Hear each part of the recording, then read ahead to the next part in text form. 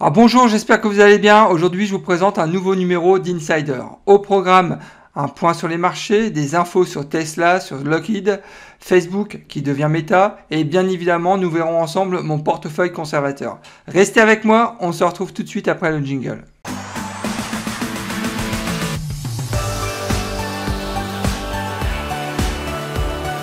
Alors pour ceux qui ne me connaissent pas encore, je me présente, Nicolas de la chaîne Mister Dividende. Mon objectif financier, c'est de construire un revenu passif, stable et sécurisé en investissant en bourse. Je partage avec vous et en toute transparence mes analyses boursières. Je publie en règle générale 2 à 3 vidéos par semaine, donc faut pas hésiter, inscrivez-vous, c'est entièrement gratuit. Je rappelle que mes épisodes sont disponibles en podcast et c'est nouveau, vous pouvez aussi rejoindre la communauté sur Discord, le lien est dans la description de la vidéo. Avant de démarrer, n'oubliez pas de liker ma vidéo, c'est très important pour soutenir la chaîne. Ah, je tenais aussi à vous informer que je ne suis pas un conseiller financier, qu'il est important de prendre le temps nécessaire pour faire ses propres recherches avant d'investir en bourse. C'est pas parce que je partage mon portefeuille d'actions que vous devez foncer tête baissée pour copier mes positions. Gardez toujours votre esprit critique, c'est vraiment le meilleur moyen de faire de l'argent en bourse. Ah, commençons par un récap des marchés, à savoir que la meilleure performance de la semaine est attribuée au Nasdaq qui prend 2,71%. La moins bonne performance donc est attribuée au, Shanghai SE50 en Chine qui perd 1,53%. Sur le mois, il faut savoir que l'ensemble des, principaux indices euh, sont, dans le vert. La meilleure performance est attribuée une nouvelle fois au Nasdaq hein, qui prend 6,40% sur un mois. Donc vraiment une très belle performance. J'arrête pas de le dire, le hein, Nasdaq est, en retard hein, depuis le début de l'année par rapport aux autres indices boursiers. On peut le voir en year to date. Donc le Nasdaq a, pris euh, que 20% cette année alors que le, CAC 40 a pris 23%, le S&P 500 22%. Donc moi je crois vraiment à un rattrapage sur le dernier trimestre du Nasdaq donc euh, c'est clair qu'il y a un bull run qui se prépare, on l'a vu, hein, ils prennent déjà 6,40% sur, euh, sur un mois.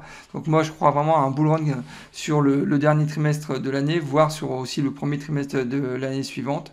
Donc c'est la raison pour laquelle je vais euh, investir, beaucoup investir sur, sur le Nasdaq dans les prochaines semaines. Ça sera l'objet d'une autre vidéo, mais bon, voilà, faites aussi vos propres recherches et vous verrez qu'il y a vraiment un très gros potentiel sur le Nasdaq. À Tesla au top, hein, le titre vient de passer le cap des 1000 dollars. C'est suite en fait à la signature d'un deal avec le Lower Hertz qui prévoit euh, la livraison de 100 000 véhicules, euh, livraison prévue entre 2022 et 2023. Le montant de l'accord est de 4,2 milliards de dollars.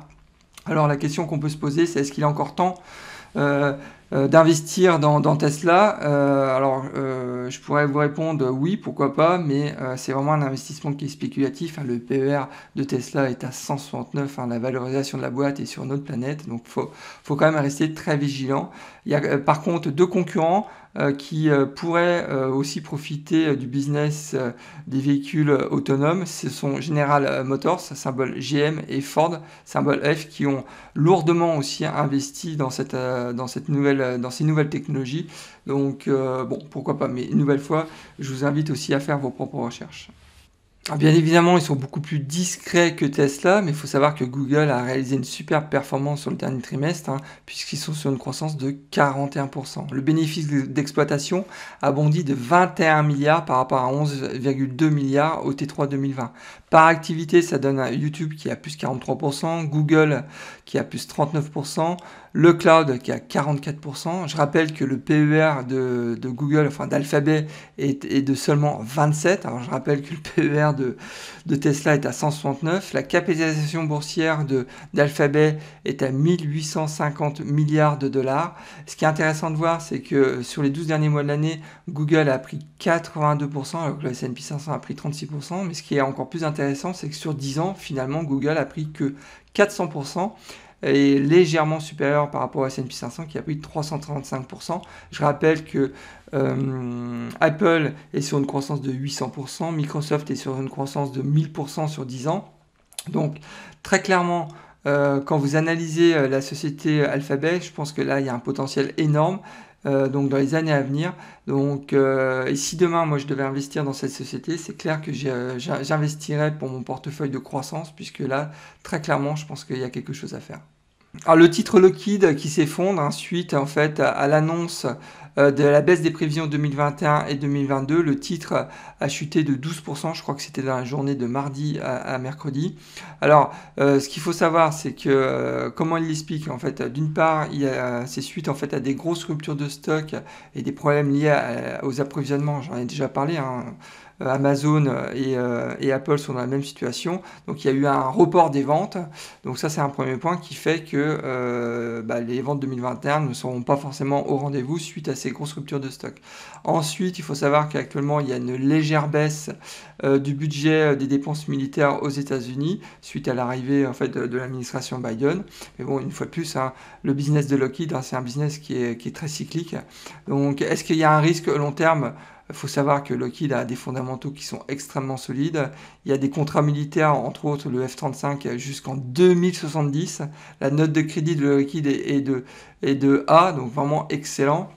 Donc très clairement, là, il y a une opportunité euh, d'achat. J'avais déjà fait une vidéo sur le sujet.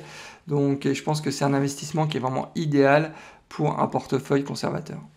Alors Mark Zuckerberg qui vient d'annoncer que Facebook allait devenir Meta, ça sera effectif à partir du 1er décembre de cette année.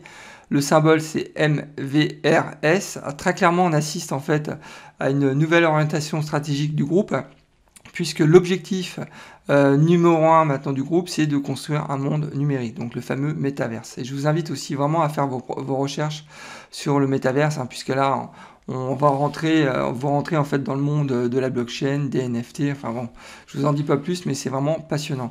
Alors à savoir que euh, Mark Zuckerberg a annoncé aussi euh, qu'ils allaient investir 10 milliards de dollars par an, donc c'est vraiment énorme. Donc le gros avantage évidemment de, de, Facebook, hein, c'est qu'ils peuvent s'appuyer sur leurs 3 milliards d'utilisateurs. Suite à cette nouvelle orientation stratégique, il y a quand même beaucoup de questions euh, qu'on peut se poser, mais c'est vrai que le point de départ, il faut rappeler quand même que Facebook, anciennement Facebook, on va l'appeler Meta maintenant, a des fondamentaux qui sont vraiment très solides. Il y a une croissance du chiffre d'affaires qui est constante depuis euh, des années, ils n'ont pas de dette, ils ont un bénéfice par action qui ne cesse aussi euh, d'augmenter, enfin bref, tout est ouvert à ce niveau-là. mais par contre, est-ce que ça sera, on parle, c'est vrai, dans l'univers euh, dans l'univers de la techno, on parle beaucoup de métaverse, mais est-ce que ça sera euh, la, plateforme de demain? Bon, euh, on ne sait pas encore, c'est encore un peu trop tôt pour, pour le confirmer. Ensuite, quel sera le retour sur investissement, puisqu'on parle quand même de 10 milliards de dollars par an donc c'est quand même énorme. Et quand vous êtes un investisseur, bah, ce qui, la première question qui doit se poser l'investisseur, c'est quel est le retour sur investissement pour lui? Donc euh, bon, c'est des questions sur lesquelles, euh, bien évidemment, on ne pourra pas encore répondre. Et au final, euh, Facebook, enfin Meta, repose en fait sur la vision d'un seul homme, c'est Mark Zuckerberg. Mark Zuckerberg, c'est l'actionnaire numéro un, c'est le patron actuel du groupe. Il est vraiment dans les opérations et tout dépend de lui. Donc pour moi, c'est aussi, alors c'est un avantage et un inconvénient. Donc c'est la raison pour laquelle si demain j'investissais en fait dans Facebook, il n'est pas exclu que je n'investisse pas parce que je, crois vraiment dans cette société. Je, pense aussi que l'homme Mark Zuckerberg est un visionnaire. Mais très clairement, il y a quand même beaucoup de questions. Et si demain j'investissais dans, dans cette société, c'est clair que ça serait un investissement spéculatif. Ah, passons à la location de mon portefeuille. Je vous rappelle que la semaine dernière, je vous avais présenté mon portefeuille retraite. Cette semaine, je vais vous présenter mon portefeuille conservateur. L'objectif, euh, bien évidemment, c'est euh, bah, de vous apporter en fait euh, beaucoup plus de visibilité dans mes investissements. C'est la raison pour laquelle j'ai séparé en quatre mon portefeuille global. Mais je vous rappelle que le point commun, de ces euh, quatre portefeuilles, c'est donc des investissements long terme. Et ça, c'est vraiment important. Je ne fais pas du, euh, court terme, je ne sais pas faire. Donc euh, moi, quand j'investis, même dans le spéculatif, c'est pour donc du long terme. Sur ma chaîne Mister Dividende, je vous montre comment j'ai réussi à gagner 300 dollars par mois de revenus passifs grâce à mon portefeuille d'actions à dividendes croissants. Alors n'attendez pas, abonnez-vous, c'est entièrement gratuit et bien évidemment si le contenu de la vidéo vous plaît, vous pouvez aussi liker la vidéo. L'objectif de mon portefeuille conservateur, c'est de privilégier la croissance du capital et une croissance annuelle du dividende supérieure à 8%. Donc très clairement, ce portefeuille est adapté pour les investisseurs long terme. Donc j'ai une approche de 20 ans au minimum, donc c'est vrai que c'est du très long terme. J'ai deux critères pour sélectionner mes, euh, sociétés. Le premier des critères, bah, c'est le rendement du dividende qui doit être euh, jusqu'à 4%. Dès lors que ça dépasse les 4%, je considère que la société est plus adaptée pour euh, mon portefeuille retraite.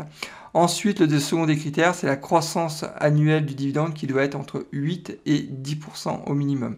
Ensuite, mon objectif donc sur la fin 2022, c'est d'avoir une projection de mon revenu passif sur un an de 2000 dollars. Ah, comme pour mon portefeuille retraite, mon portefeuille conservateur est maintenant disponible et accessible sur le site Moning. J'ai laissé euh, le lien dans la description de la vidéo. Donc en quelques mots, euh, la valeur de mon portefeuille conservateur est actuellement de 65 000 dollars. Ma projection de mes revenus passifs sur les 12 prochains mois est estimée à 1622 dollars. Je rappelle que mon objectif sur la fin 2022, c'est de passer le, cap des 2000 euh, dollars. Donc on va pas passer en revue ligne par ligne parce que je crois qu'il y a presque 30 positions. Donc une nouvelle fois, allez sur le site Morning et si bien évidemment vous avez des commentaires à faire sur ce portefeuille, faut pas hésiter, laissez un commentaire sur, euh, sur YouTube. Vous pouvez aussi euh, laisser des commentaires sur, sur Discord, donc je serai toujours ravi de vous répondre. Je rappelle que je présenterai mon portefeuille croissance le samedi 6 novembre et enfin je présenterai euh, mon portefeuille spéculatif le samedi 13 novembre. Ah, passons maintenant aux principales hausses de dividendes de la semaine, à savoir que AbbVie, symbole ABBV, a augmenté son dividende de 8,5%, donc euh, tant mieux pour les investisseurs AbbVie, moi je suis ravi, hein. je suis comme vous le savez investisseur de longue date. Ensuite, Arbor Reality qui a augmenté son dividende de 2,9%, Rockwell qui a augmenté son dividende de 4,7%, Sunsor, symbole SU, qui a augmenté son dividende de 100%. Là, je vous invite à regarder, je connais pas du tout cette boîte, mais c'est assez rare de voir ça. Ensuite, Exxon, qui euh, assure le service minimum pour augmenter son dividende de 1,1%, DTE qui augmente son dividende de 7,3%, euh, Principal Financial qui augmente son dividende de 1,6%, en phénol qui augmente son dividende de 38%, je ne connais pas du tout cette boîte, il y a peut-être aussi quelque chose à faire. Visa qui augmente son euh, dividende de 17%, je suis aussi actionnaire de Visa. Et Black Hills qui augmente son dividende de 5,3%. Alors au programme de la semaine prochaine, il y aura deux revues. La première c'est Starbucks, symbole SBUX. La seconde revue, ça sera Simon Properties, symbole SPG. Je ferai aussi une vidéo euh, où je vous présenterai le portefeuille ultime, j'en dis pas plus. Et bien évidemment, la semaine prochaine, il y aura un nouveau numéro d'Insider, épisode 8. Eh bien écoutez, on arrive déjà à la fin de cette euh, vidéo, alors j'espère que le contenu euh, vous a plu. Dans ce cas-là, n'oubliez pas de liker ma vidéo, c'est toujours très important pour soutenir la chaîne et aussi m'encourager à continuer ce type de contenu. Si vous n'êtes pas encore inscrit à ma chaîne, faut pas hésiter, inscrivez-vous, c'est entièrement gratuit. Et eh bien écoutez, je vous souhaite plein de bonnes choses et je vous dis au prochain épisode et surtout, bon trade, au revoir.